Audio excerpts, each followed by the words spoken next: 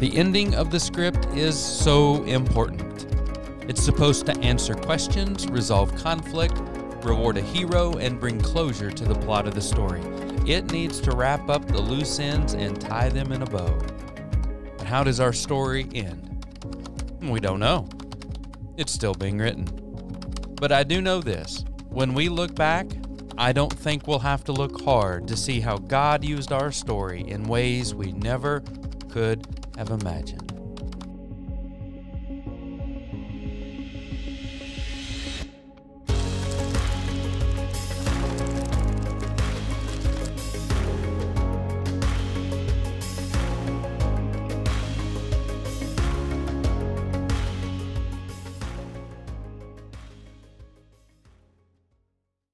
The final flip of the script. This is our final uh, message out of the series, uh, Flip the Script, where we've been going through the last part of the book of Genesis, looking at the life of Joseph. And I mentioned two weeks ago that uh, we were going to be here today, that we were going to try to sum up this story in the last chapter, Genesis chapter 50, and that there was a lot of uh, there was a lot of stuff that's gone on uh, from where we left off two weeks ago until now. And I think it's important that we just briefly recap. I know I, I, mentioned that to you, so you might even continue to read on through uh, the rest of the book of Genesis uh, so we could be prepared for this moment. But I'll catch you up briefly on what has happened. Joseph uh, had risen to power in Egypt. Um, I won't back up further than that. We'll just take it from where we left off. And uh, Jacob, Joseph's dad, at home with the 11 boys, Joseph's brothers, who were back the, in, the, in their, their land, Jacob looked out at his sons and said, Why do you sit here? There's food in Egypt. And at that time, Joseph, realizing in a dream that there was a famine coming and, and interpreting that dream to Pharaoh, had risen to the second most powerful person in Egypt. And as second most powerful, he made the decision to start saving food uh, because of the famine that God had revealed to him. And when the famine was in full swing and uh, the countries and the people all around were hungry, God made it so that Joseph's brothers would come back to Egypt, that they would come to Egypt. And coming to Egypt, they ended up presenting themselves to Joseph, not realizing it was indeed Joseph, though Joseph realized it was them. And through a series of organized tests and trials, Joseph came to learn several things about his brother. One was that they had, in a way, admitted that they had uh, done bad things to Joseph. They didn't realize that they were speaking to Joseph. Joseph realized that his father was still alive, and, they and he realized through his organized tests and trials on his brothers that they loved the youngest brother. Joseph had come to a place where he eventually revealed himself to his brothers and told them to go back home and to get their father and to come back, and they would live and dwell in Egypt.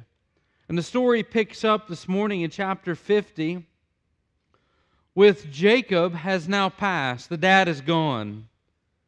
And the brothers realize that the patriarch now is dead, dad's dead, so now we're in Egypt, and Joseph is the second most powerful person. They realize now that Joseph is holding all the cards. So I want to read from 15 through the end of chapter 50 of the book of Genesis. It says, When Joseph's brothers saw that their father's dead, they said, It may be that Joseph will hate us and will pay us back for all the evil we did to him. So they sent a message to Joseph saying, Your father gave us this command before he died. Say to Joseph, Please forgive the transgression of your brothers and their sin because they did evil to you. And now please forgive the transgression of the servants of the God of your father. And Joseph wept when they spoke to him. His brothers also came and fell down before him and said, Behold, we are your servants. But Joseph said to them, Am I in the place of God? As for you, you meant evil against me, but God meant it for good to bring it about that many people should be kept alive as they are today. So do not fear, I will provide for you and your little ones. Thus he comforted them and spoke kindly to them. So Joseph remained in Egypt, and he and his father's house, and lived for a 110 years. And Joseph saw Ephraim's children to the third generation. And Joseph said to his brothers, I am about to die, but God will visit you and bring you up out of this land to the land that he swore to Abraham, Isaac, and Jacob. Then Joseph made the sons of Israel swear, God will surely visit you, and you shall carry up my bones from here. So Joseph died, being 110 years old. They embalmed him, and he was put in a coffin in Egypt. Three amazing plot twists this morning in this story. Three things that, as this story closes out, how it ties it up in a very neat bow. All of the conflict is now resolved, all of the issues are now brought to this uh, glorious resolution. And truly, you can look at the end of this story and say, everyone is blessed. That doesn't always happen, it seems, but in this story, everyone is blessed three things that we take from this, just from that comment. And if, if you're to take nothing else, just that one comment from Joseph that you meant this for evil, but God planned it for good. If you just take that one comment this morning, that one comment alone tells us three things. In that one statement of Joseph, you meant it for evil, but God meant it for good. In just that one sentence, we have three amazing truths. The first amazing truth is this Joseph realized that God's plan was much bigger than him. And that one comment, you meant it for evil, but God intended it for good. That one comment is a testimony from Joseph, looking now back over the whole big picture and, and speaking and testifying that God's plan is so much bigger than just him. Let me show you three ways God's plan in Joseph's life was so much bigger than him. First is the depth. The depth of God's plan was so much greater than Joseph. You see, we've mentioned before that God used many different instruments to bring Joseph where he was.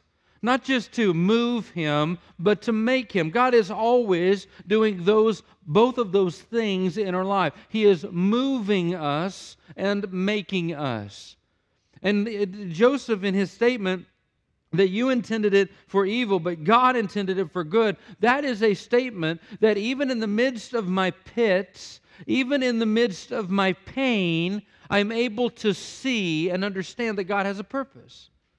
You see, as, as much as that had to have hurt, as much as the, the, the dismemberment away from the family, the, the, as much as the disposal of, of Joseph being thrown away by his brothers and being handed over to people, gathering further away physically and further away relationally from his family, no matter how much that hurt, Joseph had come to a place to realize that a sovereign God was orchestrating and working events that even though it looked like it was the brothers down here, no, it was not just the brothers down here working. It was a larger sovereign God who was orchestrating and protecting and guiding. What, they, what the brothers saw as throwing away, God saw as moving around. And Joseph was able to make that connection. It was not just the depth and the pits and how his pain had purpose and how God used both his active obedience and his passive obedience to work on him and through him to both move him and make him. But now we see the breadth or the width. Joseph realized that the pain that he endured was for a reason, and not just in the depth, but in the width of it. That the scope of what God was doing was beyond him. God's purpose, Joseph understood was to raise him up so that in him, through him, other people would have food. That through Joseph's life, others would be alive. Joseph, because of all that he had endured and where he was, was able to be a blessing to his family, his descendants, and other nations. He saw this with his own eyes. No doubt, being able to te- be tested by the word of the Lord in Psalm 105, those visions that he had to believe that God has a purpose much bigger than I can see right now. But you may remember at the very end, some of his final words recorded was that God will give you the land that he promised to Abraham, Isaac, and Jacob. It was not just what he saw with his own eyes, but the faith that he had and trust in the Word of God. It was not just the depth of the pain and the pits and the breadth that his life meant more as it was being affected as well in other people's lives, but it was also the height. Joseph forgave completely, friends. This is the incredible thing about forgiveness. Joseph literally held all the cards. His brothers had done him wrong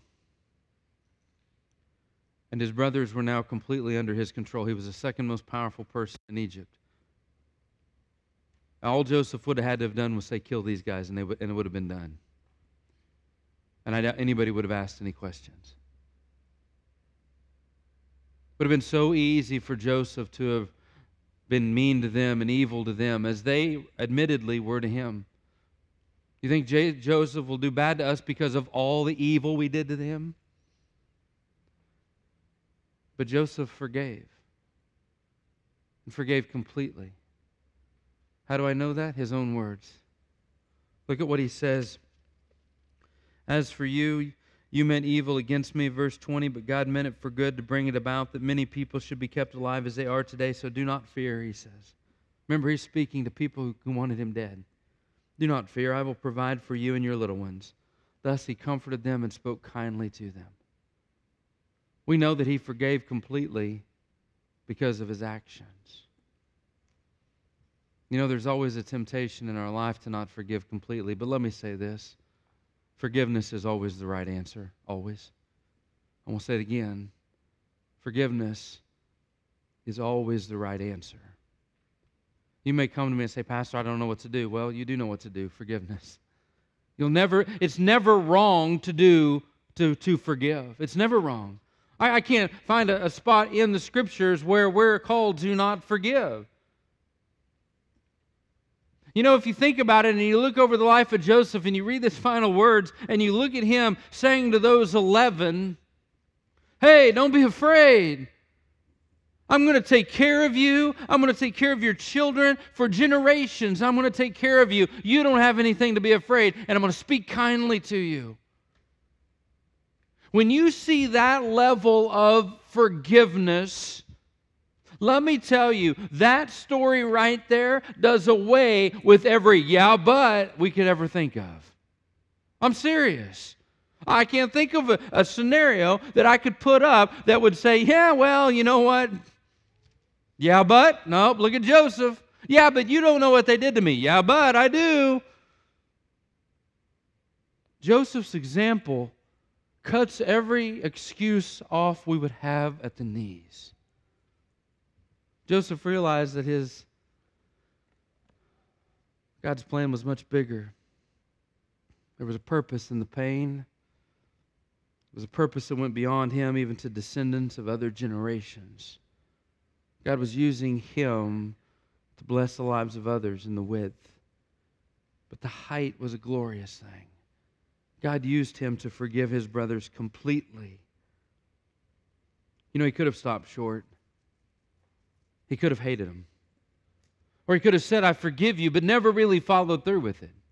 He could have mistreated them or just tolerated them or ignored them or moved them clear off on the other side of Egypt where he would only have to see them once a year. But that wasn't the case.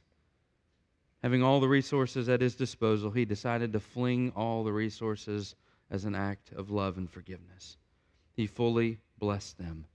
And this was before the cross of Christ. Fully blessing, loving his enemies. Number two,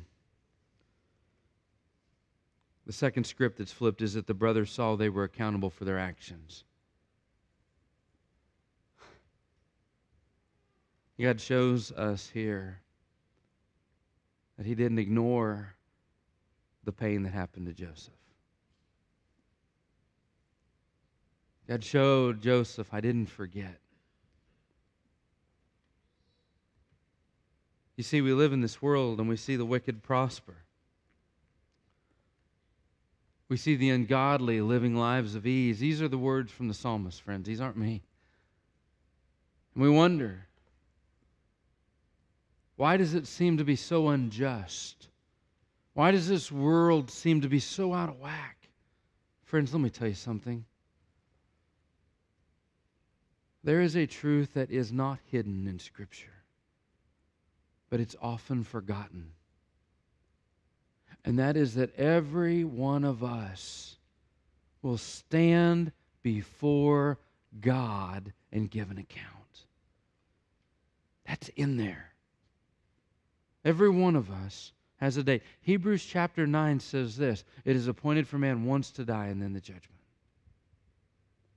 2 Corinthians chapter 5 verse 10 says for we must all appear before the judgment seat of Christ that we may give an account of the things done in our body whether good or bad. Now believer, if you are washed in the blood of Christ, if you are saved and you know it, Praise God, your sin and my sin is not going to come up before that at that moment. We are not going to be tried for our sins because they have been dealt with completely through the work of Jesus Christ.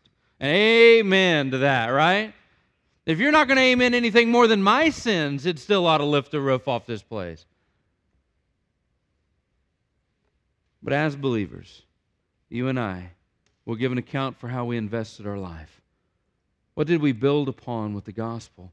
In what ways did we see God, you, did we allow God to leverage our life for the advancement of the kingdom and the advancement of the gospel? In what ways did we allow God to use our life to be built for His glory and His honor? Or did we hide our life away, keeping it only for ourselves? You see, every one of us, sinner and saint alike, though different things will be on the docket, either our sin or our life investment for the gain or loss of rewards, every one of us is going to stand before God someday. You and I, we may not, we may forget about it. We may not live like it, but it does not take away from the truth. You know, those brothers at times had to have forgotten about it. You know, there had to have been a time where those 11 brothers would be sitting around the table, and you know, Benjamin would have brought it up one time. You know, little Benjamin probably would have said, Man, it would be nice to have Joseph here. And you know, they would have shushed him. It would have pricked their mind and pricked their conscience to think of what they did. I'm sure Judah, at times laying in bed, could hear Joseph saying, crying from the hole, If you let me out, I'll never tell you my visions again. You know that had to be ringing through his mind. You know that they would never ever speak of Joseph in front of their dad. Oh, that would cause their dad to cry and to weep, and they couldn't handle the thought of that being stirred up again. No, they wouldn't talk about it. You know they had to have made a pact, but they couldn't escape it. God ordained a time where those 11 would come and present themselves before the one they sinned against. For we must all appear before the judgment seat of Christ. God brought it to their life again in vivid detail, exposing all the darkness of their deed, giving an account for it and taking ownership proving that he will not overlook or forget. Number three, final point. Joseph's never been the star of this show. It's always been God. The author of the script, the director of the play,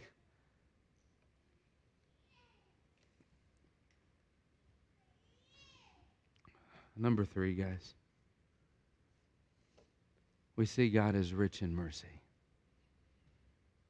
It's got to end like this, doesn't it? Eleven brothers who had a hellish plan to kill their brother and then to lie about it to their dad. and to remain hardened for years and years and years and years, covering up the truth. Oh, how callous their hearts had to have become. And yet, those 11 find themselves being fed in a famine. And yet, those 11 find themselves in some of the prime real estate in Egypt, having some of the, the most, the greatest food and provisions laid at their table. Guys, the Bible is not a bunch of stories about how God blesses good people. The greatness, the great thing about the Bible is how it recounts God continuing to bless sinful people. Romans 5:20 says this, where sin did abound, grace did much more abound. Certainly, God showing favor to those 11 brothers. But see, we, it didn't mess with our mind too much to see how God could bless Joseph. That makes sense. God, he earned it, right? I mean, he went through semester after semester after semester, the school of hard knocks. God, he got thrown down in a pit. God, he was rejected. It's not hard for us to look at Joseph and say the dude earned it, right? But then we look at those 11 horrible brothers and we see that they're getting blessed as well, and it turns us on our head. That's the God we serve. We serve a God who is so rich in mercy, He gives it in unmerited fashion to those of us who don't deserve it because that's who He is. Where sin abounded, grace did much more abound. Certainly, this has to be the first time in Scripture where God's unmerited favor is shown to somebody, isn't it? Genesis chapter 50, good thing it's at the end of the first book of the Bible, right? No, the first couple. Do you remember Adam and Eve created, put in the Garden of Eden, told that they could eat of any tree they wanted, but not the tree of the knowledge of good and evil? For the day you eat thereof, you will surely die. That's what God said. They were tempted of the enemy and they ate of the fruit. Eve first and gave it to her husband. They eat. They sinned. Their eyes were opened. They saw that they were naked. They hear the voice of the Lord God walking in the garden in the cool of the day, and instead of walking to him, they f- sewed fig leaf bikinis and ran and hid in the trees because they knew he was coming and they saw they were naked. God comes to the trees and says, Adam, where are you? Adam says, I hid from you because I was naked. God says, Who told you you were naked? They both say, Uh oh. Remember what God said, The day you eat thereof, you shall surely die? God takes an animal kills it, cuts its skin, and places the skin as a covering for their nakedness. Direct disobedience to the one command man had been given. And the only thing that died that day was the animal. The birth of the atonement had happened. Adam and Eve had two sons, Cain and Abel. Cain became jealous of his brother Abel, killed him. God comes to Cain, first murder of the first family. We're not starting off well, friends. Cain kills his brother. When God tells him, I'm going to send you out, you shall be a vagabond upon the earth. Do you remember what Cain said? The punishment is greater than I can bear. You know what God does? God, this mean, horrible God, right? Coming to the one who murdered his brother. God says, I'll give you a mark so that nobody else will kill you. God took the murder and protected him. Where grace did abound, where sin did abound, grace did much more abound. Three things this story tells us. What you meant for evil, God meant it for good. God's plan for Joseph and for us is much bigger in depth and width and height than we could ever imagine. Second, God has a day in which he will judge the world by his son Jesus Christ. And you and I, in knowing that truth, should prepare today for that moment. If we're not saved, we should get on the right side of God right now because today is the day of grace. Today, as God has stirred in our heart, thinking about that moment when we stand before Him, you can have peace with God through our Lord and Savior Jesus Christ for the forgiveness of sins. Jesus took every sin that you and I have committed and took them upon Himself and died in our place as a sacrifice, a perfect substitute for the sins we committed. Our sins became His. When you come to faith in Jesus Christ, God, I'm a sinner. I know what you did for me on the cross, and today I receive that free gift. The moment from your heart to God's, you pray that way, asking for that salvation, that forgiveness, it happens. And thirdly, God is rich in mercy. His ways are not our ways. We serve a God who has always met our fiercest crimes with his greatest grace. And today we have a God who is still rich in mercy, has not given it all away, but is still abundant and seeks to restore and reconcile us to himself. Hey, thanks so much for listening to our podcast at First Baptist Joplin. If you are interested in coming and worshiping with us live, we would love for you to come at 9 and 10:30 on Sunday mornings.